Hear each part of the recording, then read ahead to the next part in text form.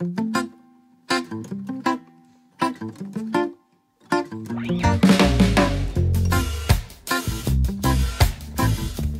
we're going to talk about how to make your kid feel special.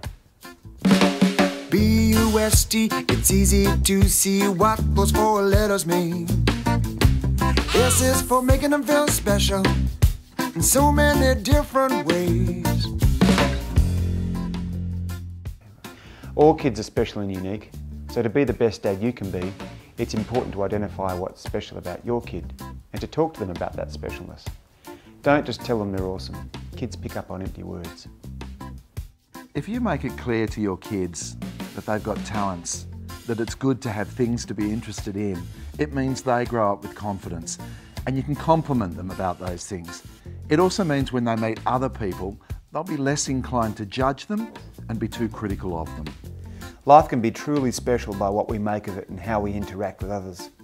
Teach this to your kids by showing them that they are unique and special and encourage them to share their specialness with the world through building on their talents and skills to be the best person they can be.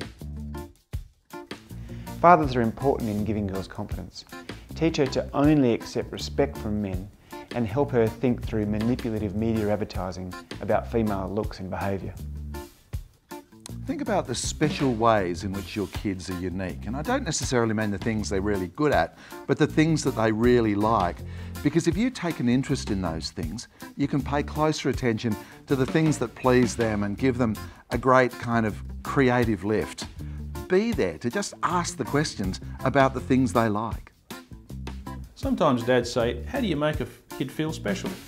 You have to identify what is special about them and don't just say, hey, you're awesome but identify what it is. What are the gifts that they bring to the world? It won't be that hard once you think about it. But a second way is to actually do things with them that make them feel special. Make them feel like, hey, they're worth spending time with. And some of the things that we recommend that work an absolute treat are things like dad dates. It's where you go out with your kids one at a time. It's not you and mum, not you and your mates. It's just dad and just the kids one at a time.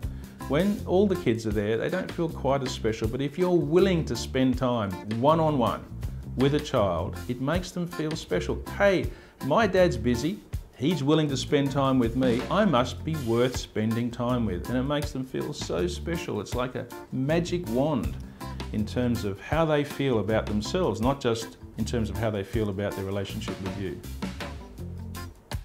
None of us really know what kind of futures our kids are going to have. But all the time we should be looking at them and saying, there'll be ups and downs, it won't always be easy, you won't get things all your own way, and you know what? Sometimes it's not fair.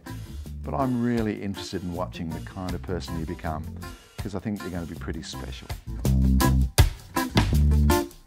So remember the bust concept and the importance of making your kids feel special, and you'll be well on your way to being the best dad you can be.